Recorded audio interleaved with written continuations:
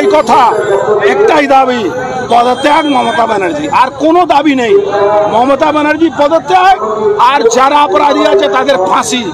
এটাই আমাদের দাবি আর কোনো দাবি। বিলম্বে বোধ- বিলম্বে বোধন হয় সন্দীপ ঘোষের নামে এফআইআর হলো দেখুন এটা সবটাই আইওয়াস কিন্তু ভারতবর্ষে সুপ্রিম কোর্ট যেভাবে আজকে দানা বেঁধে দিয়েছে যেভাবে আজকে জবাব দিয়েছে এই কপিল সিব্বল অভিষেক মনু সিংহী মমতা ব্যানার্জি যে উকিলের বিরুদ্ধে।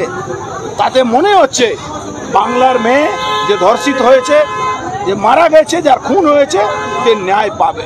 রাজ্যে নজিরবিহীন ঘটনা যে সুপ্রিম কোর্ট বলছে সিআইএসএফ কে একটা হাসপাতাল পাহারা দিতে।